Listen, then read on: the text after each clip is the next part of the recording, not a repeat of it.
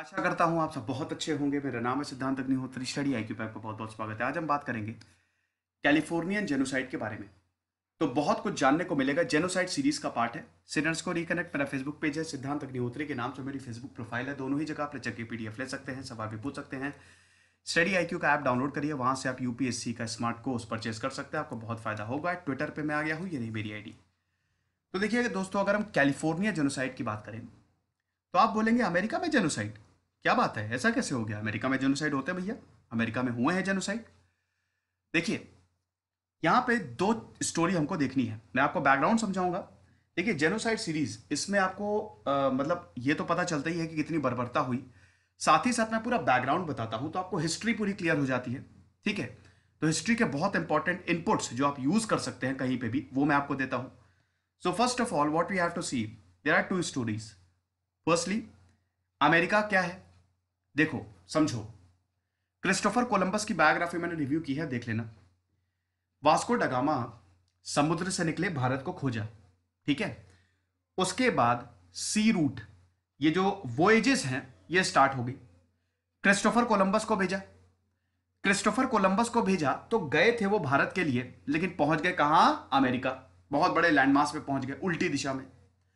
तो वहाँ पे उनको लगा यही भारत है है ना? टोटल चार चार वोजेस की थी, अगर क्रिस्टोफर कोलंबस की बात करें। वास्को डगमा के बाद। तो इधर पहुँच गए। वहाँ पे अमेरिका की डिस्कवरी हुई। ठीक है? उसके बाद वेस्पुक की गए, है ना? जिनके नाम पे अमेरिका बोला जाता है कि रखा गया है। वो गए। फिर और पूरा मतलब एक तरीके से कारवा शुरू हो गया। फिर फिफ्टींथ सिक्सटींथ सेंचुरी में पूरा कॉलोनाइजेशन शुरू होता है अमेरिका का। ठीक है? साउथ में देखें। ये वाले एरिया में। ठीक है? अगर ये वाले एरिया की बात करें, स्पेनिश और फ्रेंच आ गए। ये ऊपर वाले एरिया को ब्रिटिश ने ले लिया, तेरह कॉलोनीज बना ली, ठीक है? अब हुआ क्या? 1734 में आखिरी कॉलोनी बनाई थी ब्रिटिश ने, उनकी तेरह कॉलोनीज थी, ब्रिटिशर का यहाँ पे पूरा रूल था। दुनिया में जहाँ पे भी आपको गोरे लोग दिखेंगे ना, वो सब यूरोप के हैं, सब यूरोपियंस हैं, है ना? यहाँ पे ओरिजिनल इनहेबिटेंट्स रहते थे इंडिजिनस यहाँ के खुद के लोग जो हमेशा से यहाँ पे रह रहे थे, जिनको रेड इंडियंस बोला, ठीक है? ये यूरोपियंस यहाँ पे इनको रेड इंडियंस बोलते थे। क्यों? क्योंकि एक तो देखिए, सबसे बड़ी बात यह है कि यहाँ पे जो इंडिजीनियस लोग रहते हैं इनफैक्ट मेक्सिको में भी देखें मेक्सिको और भारत का कल्चर बहुत सेम है। इनफैक्ट वहाँ के लोग भी, हमारा हुलिया और जो यहाँ पे लोग रहते हैं, उनका हुलिया बिल्कुल सेम है। वो ब्राउन है, हम भी ब्राउन है है ना? और आदतें भी काफ़ी कुछ मिलती जुलती है। तो यूरोपियंस यहाँ पे पहुँच गए।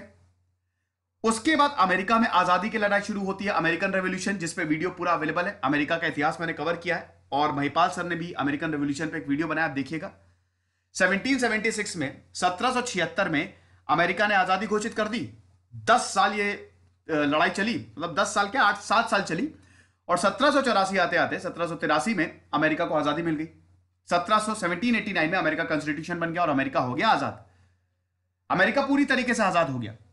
और अब अमेरिका ने शुरू किया एक्सपेंशन अब यहाँ पे आपको ध्यान देना है। ये तो अमेरिका की कहानी इन शॉर्ट दूसरी कहानी आपको मेक्सिको की समझनी है। मेक्सिको की अगर बात करें तो दोस्तों, मेक्सिको का ये जो आप कैलिफ़ोर्निया देख रहे हैं, ये टेक्सास देख रहे हैं ना, ये पूरा का पूरा एरिया ये मेक्सिको के पास था। मेक्सिको में भी एस्टेक एम्पायर रहता था। डिस्ट्रक्शन ऑफ़ एस्टेक एम्पायर पे, एटेक या एस्टेक, मैं एक्चुअली एस्टेक ही बोलता हूँ, A Z Z T E C.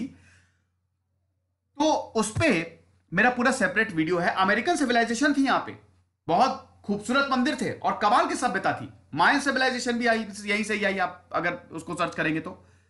तो डिस्ट्रक्शन ऑफ़ एस्टेक एम्पायर पे मेरा पूरा सेपरेट वीडियो तो मेक्सिको में एस्टेक एम्पायर और अमेरिकन सिविलाइजेशन मतलब यहाँ पे इंडिजिनियस लोग बहुत वक्त से रूल कर रहे थे। आज भी अमेरिका में 500 से ज़्यादा ट्राइब्स मिलेंगी। ठीक है? लेकिन 1596 में आए हरनेंदस कोर्टेस स्पेन के। और स्पेन ने मेक्सिको मेक्सिको पे अपना पूरा दबदबा दबा बना लिया। और पूरे एस्टेक एम्पायर ये जो अमेरिका के नीचे ना मेक्सिको इसको खत्म कर दिया। और स्पेनिश सेटलमेंट यहाँ पे बन गई। समझ गए? यूरोप में क्रिश्चियनिटी थी, आपको पता ही है कैथोलिज्म तो यूरोप में क्या था कि जब ये लोग किसी एरिया को कॉलोनाइज करते थे तो मिशनरी भेजते थे। इनके दो एम होते थे। एक तो क्रिश्चियनिटी फैलाओ। जहाँ जहाँ क्रिश्चियनिटी जा सकती है, वो करो, वो फैलाओ। और इसमें कोई बुरी बात नहीं है, धर्म का प्रसार प्रचार हर कोई करता है, लेकिन फोर्स्ड कन्वर्जन बहुत गलत है और फोर्स्ड कन्वर्जन हुए यहाँ पे। ठीक है? दूसरा मिलिट्री आउटपोस्ट बना लो बेसिस बना दो। और जब ये हो गया तो अपने आप, वो कॉलोनाइज हो जाएगा रिसोर्सेज भर भर के रिसोर्सेज यूज़ करो। यही यूरोपियन करते थे। तो मेक्सिको स्पेन के अंडर में था। 1821 में मेक्सिको ने आज़ादी ले ली स्पेन से। मेक्सिको आज़ाद हो गया। अब उसके बाद हम ये देखते हैं जब मेक्सिको आज़ाद हुआ तो कैलिफ़ोर्निया और टेक्सास वाला एरिया तो ऑलरेडी इनके पास था। ये जो कैलिफ़ोर्निया का एरिया है ना, ये वाला जो आप देख रहे हैं, ये मेक्सिको के पास आ गया। ठीक है? अब हम ये देखते हैं कि अमेरिका और मेक्सिको आपस में भिड़ गए, जिसको मैक्सिकन अमेरिकन वॉर भूला जाता है। 1846 से लेकर 1848 तक चला। ये चीज़ आप समझे? 1846 से लेकर 1848 तक दो साल तक मेक्सिको और अमेरिका के बीच में वॉर हुई, जिसमें सबसे ज़्यादा फ़ायदा हुआ अमेरिका को। कैसे? अमेरिका के पास आ गया पूरा का पूरा टेक्सास और कैलिफ़ोर्निया। समझ गए? कैलिफ़ोर्निया की बात करें तो पहली आज़ाद फिर मेक्सिको के पास आया और कैलिफ़ोर्निया में भी ऐसा नहीं है, यहाँ पे भी आप देखेंगे तो फिफ्टींथ, सिक्सटींथ सेंचुरी में कॉलोनीज मतलब यहाँ पे भी स्पेन स्पेनिश सेटलमेंट हो गया और 1769 में सबसे पहली बार यहाँ पे बाकायदा मिशनरीज भेजी गई। ठीक है, यूरोप के द्वारा, स्पेन के द्वारा। लेकिन अठारह 1848 में जब मैक्सिकन और अमेरिकन वॉर खत्म होती है, तब कैलिफ़ोर्निया पे पूरा कंट्रोल अमेरिका का हो गया। अमेरिका एक्सपैंड कर रहा था। तो टेक्सस वाला एरिया, देखो, जो प्रेसिडेंट थे उस समय अमेरिका के, जेम्स पॉक, समझ गए? एक बार मैक्सिको और अमेरिका के बीच में वॉर हुई 1846 से लेकर 48 तक। तो जेम्स पॉक टेक्सास को अपने पास ले आया चलिए मुझे ट्रीटी का नाम बताइए। कमेंट बॉक्स में वो कौन सी ट्रीटी थी जो मैक्सिको और अमेरिका के बीच में साइन हुई थी, वो मुझे आप कमेंट बॉक्स में बताइए। ठीक है, थोड़ा आप भी पढ़िए। टेक्सास आया। अब जेम्स पॉक की आँख जम गई कैलिफ़ोर्निया और न्यू मैक्सिको की। ये भी हमारे पास आने चाहिए। समझ गए? और अठारह सौ पचास में कैलिफोर्नियन कॉम्प्रोमाइज होता है और कैलिफ़ोर्निया आ गया अमेरिका के पास। समझ गए? अब यहाँ पे बहुत बड़ी चीज़ होती है। क्या? देखो, अमेरिका में बहुत सारी ट्राइब्स रहती थी, ठीक है? ट्राइबल कॉन्फ्लिक्ट होती नहीं थी, इनका अपना कल्चर था। बहुत अच्छे लोग थे और ज़्यादा कॉन्फ्लिक्ट में ये लोग रहते नहीं थे। समझ गए? जब यूरोपियंस यहाँ पे आए यूरोपियंस आए यहाँ पे। अमेरिका को अपनी कॉलोनी बनाया, अमेरिका ने आज़ादी ली। उसके बाद अमेरिका ने, ये जो ट्राइबल लोग है ना, एक के बाद एक अनईक्वल ट्रीटीज साइन की जिसपे मेरा पूरा सेपरेट लेक्चर है। अनईक्वल ट्रीटीज का मतलब क्या है? ये जो पूरी ज़मीन थी इट्स ऑल अबाउट ज़मीन, ठीक है? The whole fight is fight is all about ज़मीन, ठीक है? और America at that time needed ज़मीन तो उसको ज़मीन चाहिए थी। तभी तो एक्सपेंशन होगा ना। और अमेरिका में रिसोर्सेज बहुत ज़्यादा मिलते थे। अभी मैं बताऊँगा कैलिफ़ोर्निया में मेन कैलिफोर्नियन जेनोसाइड का कारण क्या था? वो अभी मैं आपको बताऊँगा थोड़ी देर में। ठीक है? तो यहाँ पे क्या हुआ कि जो इंडिजीनियस लोग यहाँ पे, जो ट्राइबल लोग यहाँ पे रहते थे, इनसे युद्ध लड़ते थे अमेरिकन अब अमेरिकन जीतते थे। क्यों? क्योंकि इनके पास हथियार बहुत अच्छे होते थे। मॉडर्नाइज आर्मी थी।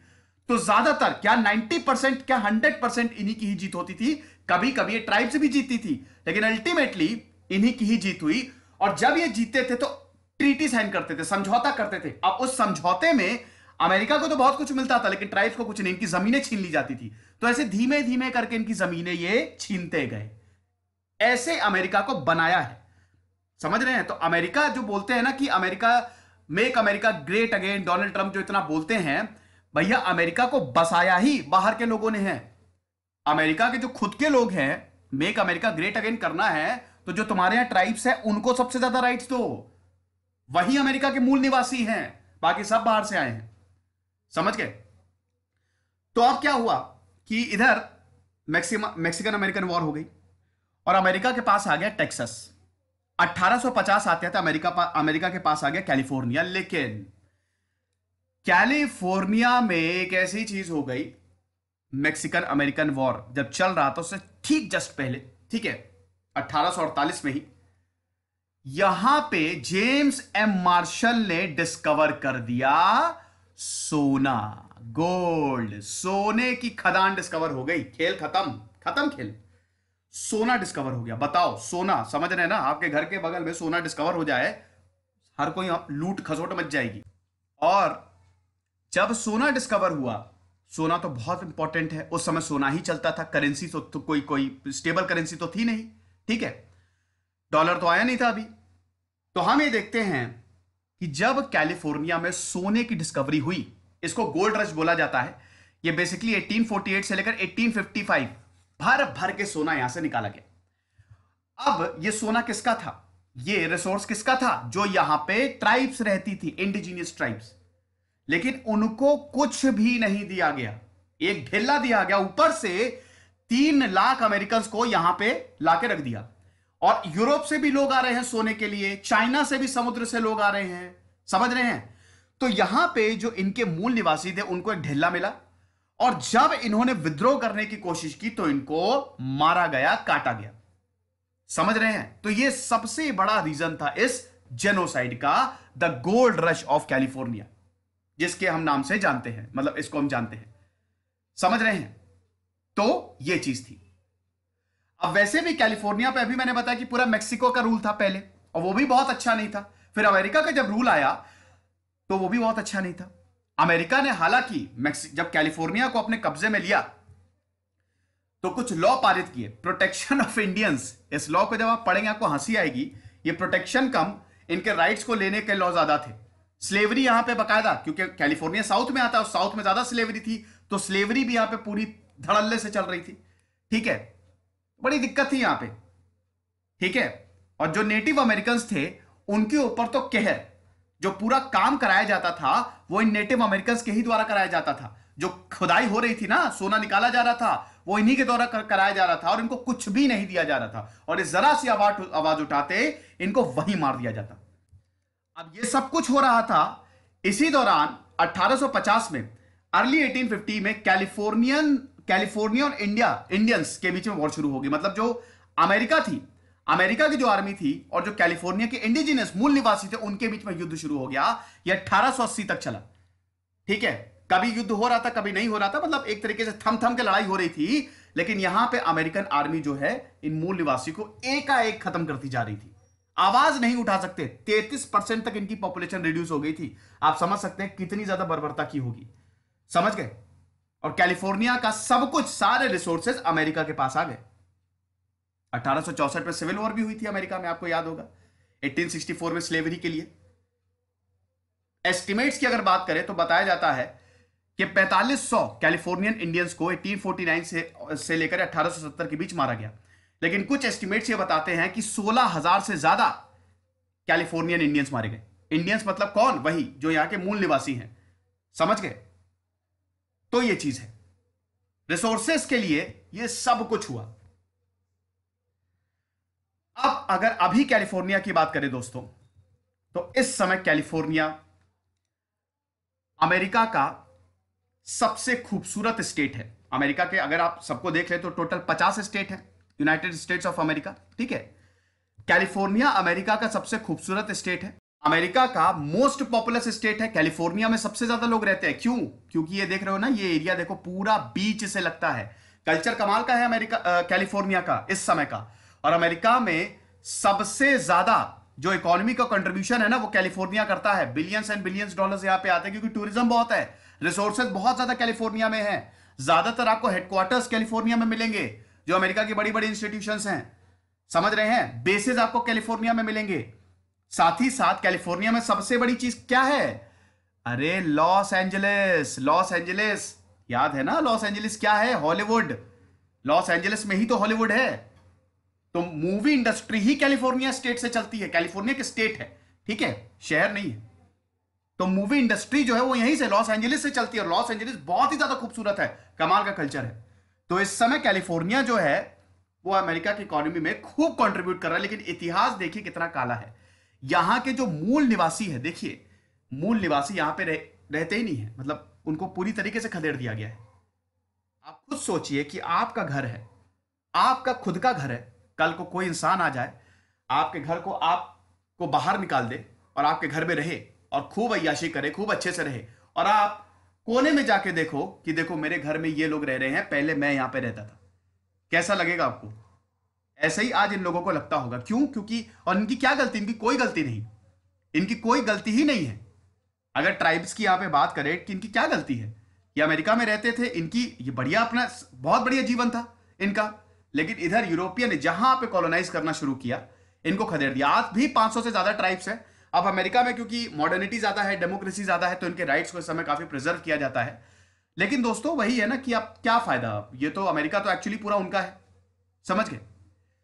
तो ये लेक्चर था। आई होप आपको पसंद आया होगा, समझ में आया होगा। खुश रहिए, पढ़ते रहिए। जैसे सिद्धांत अग्निहोत्री साइनिंग ऑफ़